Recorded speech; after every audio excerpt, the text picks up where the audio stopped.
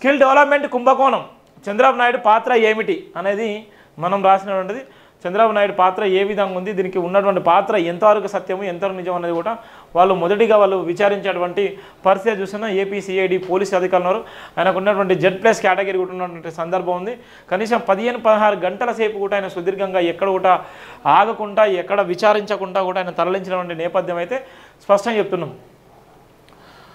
మూడు వందల డెబ్బై కోట్ల స్కిల్ డెవలప్మెంట్ కుంభకోణంలో మాజీ ముఖ్యమంత్రి చంద్రబాబు నాయుడు కీలక పాత్ర పోషించాలని ఆంధ్రప్రదేశ్ నేర పరిశోధన విభాగం ఆరోపించింది. నిధులను మళ్ళించే ప్రయత్నంలో నిబంధనలు ఉల్లంఘించిన స్కిల్ డెవలప్మెంట్ డిపార్ట్మెంట్ ఎంఈఓకు రాయ నాయుడు ప- కుట్ర పన్నారని దానిని ఆమోదించాలని పేర్కొన్నారు ఈ నిధులకు షేల్ కంపెనీలకు మళ్ళించాలని ఆ తర్వాత నగదుగా విత్డ్రా చేశారని వాటిని నయంతో సంబంధం ఉన్న వ్యక్తులకు అందజేశారని సిఐడి ఆరోపించింది. జీఎస్టీ ఇంటెలిజెన్స్ డైరెక్టర్ జనరల్ నుంచి ఈ స్కీమ్ ప్రాథమికంగా బయటపడింది. స్కిల్ డెవలప్మెంట్ ఇలా రెండు వేల పదిహేనులో Siemens industry software India private limited design tech systems private limited Pune రాష్ట్ర ఖజానా నుంచి నిధులను దుర్వినియోగం చేసేందుకు చంద్రబాబు నాయుడు ఆంధ్రప్రదేశ్ ప్రభుత్వ ఐఏఎస్ అధికారులతో కలిసి కుట్ర పన్నారని సిఐడి ఆరోపిస్తుంది. ప్రతిపాదిత Siemens skill development centres project వ్యయ అంచనాను పెంచుతూ సిమెంట్స్ అధికారులు అప్పటి ముఖ్యమంత్రి Chandrababu Naidu power point presentation చేశారు. వారు నైపుణ్యాభివృద్ధి శాఖ కార్యదర్శి Gatta Subbarao AP state skill development corporation MD and CEO APS SDC director doctor K Lakshminarayana retired IAS వంటి ప్రభుత్వ అధికారులతో కుమ్మక్కయ్యారు. ఈ స్కిల్ డెవలప్మెంట్ ప్రాజెక్టు విలువ మూడు వేల మూడు వందల కోట్లు. ఆంధ్రప్రదేశ్ ప్రభుత్వం నుంచి కేవలం మూడు వందల ముప్పై కోట్ల రూపాయలతో అమలు చేయబడుతుంది. ప్రాజెక్టు వ్యయంలో తొంభై శాతం సాంకేతిక భాగస్వాముల నుండి ఇన్కైన్ గ్రాంట్ ద్వారా కవర్ చేయబడుతుంది. వారు పేర్కొన్న అని ఏ అధికారులు ఆరంభించినటువంటి నేపథ్యం మూడు వందల ముప్పై కోట్లతోని స్కిల్ డెవలప్మెంట్ కింద ఇలా ఆంధ్ర ఉన్నటువంటి ముఖ్యమంత్రి గారు దీని మీద చేసినటువంటి ఆరోపణ మీద ఏపీ సిఐటి అధికారులు ఆరంభించినటువంటి ఆ, వార్తనైతే ఇక్కడ చూసినాం. తప్పుడు ఒప్పందం. వారి ప్రణాళికతో భాగంగా అప్పటి గుర్బర్గాలోని S SI SW MD Suman జో సుమన్ బోస్ డిజైన్ టెక్ యొక్క ఎండి వికాస్ కన్విలార్ జూన్ ముప్పై రెండు వేల పదిహేనున లోపబాయి ఇష్టమైన తప్పు ఒప్పందాన్ని కుదుర్చుకున్నారు. ఈ ఒప్పందం జీఓఎంసీ జూన్ ముప్పై రెండు వేల పదిహేను నాలుగు ఇది ఎస్డిఏ అండి డిపార్ట్మెంట్ డిపార్ట్మెంట్ అంగీకరించడానికి అనుమతిచ్చింది ప్రాజెక్టు కోసం పన్నులతో సహా మూడు వందల డెబ్బై కోట్లను మంజూరు చేసింది. పవర్ పాయింట్ ప్రజెంటేషన్ ఆధారంగా సాధారణంగా ఏదైనా ప్రాజెక్టు వివరణాత్మకంగా ప్రాజెక్టులకు సంబంధించి ఉన్నటువంటి పరిస్థితిలో ఉన్నటువంటి అంశాన్ని అయితే స్పష్టంగా చెప్పడం జరుగుతుంది. నివేదన కలిగి ఉండాలి. వ్యాయాంచనాలు అంచనాలు రేట్లు లేదా పోల్చదగిన అంశాల కోసం మార్కెట్ సర్వే ఫలితాలను కలిగి ఉండాలి. అయితే ఈ అవసరాలను దాటివేసి కేవలం పవర్ పాయింట్ ప్రజెంటేషన్ ఆధారంగా సీమెన్ స్కిల్ డెవలప్మెంట్ సెంటర్లు ప్రతిపాదన చంద్రబాబు నాయుడు ఆమోదించారు. ఇక ప్రాజెక్టు కోసం పరిపాలన అనుమతిని జారీ చేసినప్పుడు ఏపీఎస్ ఎస్డిసి ఎండి సంతకం చేయాల్సిన మెమరాండం ఆఫ్ అగ్రిమెంట్ కూడా ఆమోదం కోసం పంపబడింది. తప్పుడు ఉద్దేశంతో సిమెంట్స్ మరియు డిజైన్ టెక్ వాగ్దానం చేసిన అంచనా ప్రాజెక్ట్ వ్యయం తొంభై శాతం ఇన్కైండ్ గ్రాంట్ గురించి ప్రస్తావించగా ఒప్పందం రూపొందించబడింది. ఐఏఎస్లో కీలకంగా ఉన్నటువంటి పాత్ర. ప్రతి దాంట్లో ఐఏఎస్ ఐపీఎస్ల పాత్ర కీలకంగా ఉంటుంది.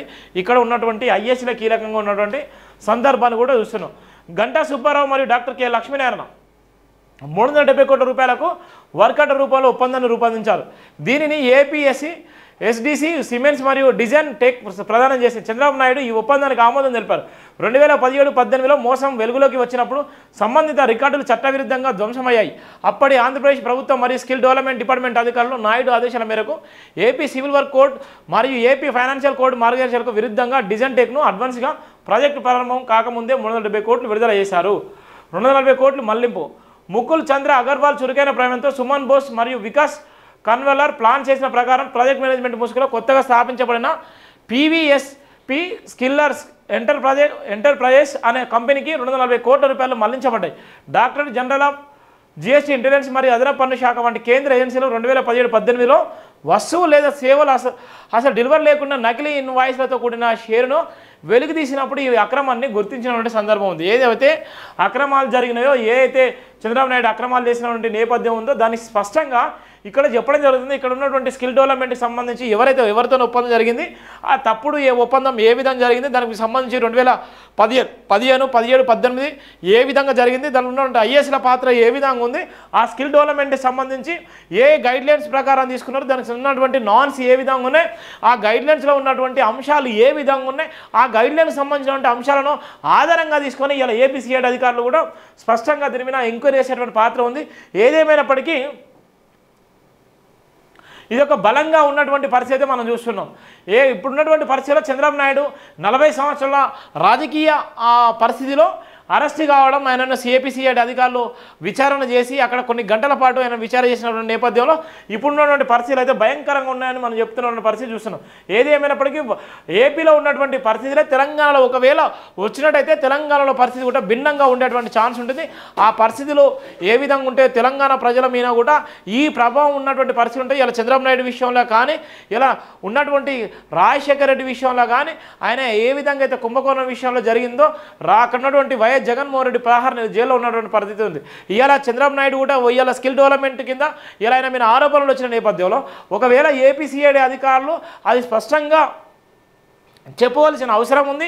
ఏపీసీఐడి అధికారుల దగ్గర ఒకవేళ ఆధారాలు ఉంటే చంద్రబాబు నాయుడు కూడా అరెస్ట్ చేసేటువంటి పరిస్థితి ఉంటుంది. చంద్రబాబు నాయుడు కూడా జైలు జీవితం కూడా గడిపేటువంటి పరిస్థితి ఉన్నటువంటి నేపథ్యం అయితే స్పష్టంగా కనపడుతుంది.